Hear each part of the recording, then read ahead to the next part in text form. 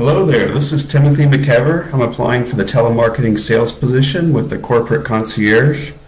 I'll be a good fit for your job needs because I am pleasant, reliable, and proficient at helping customers. I have over the phone experience from my last work at Concentrix. There I would take 40 plus calls per day. And I hope that we get together soon and work together. Thanks for checking out my resume.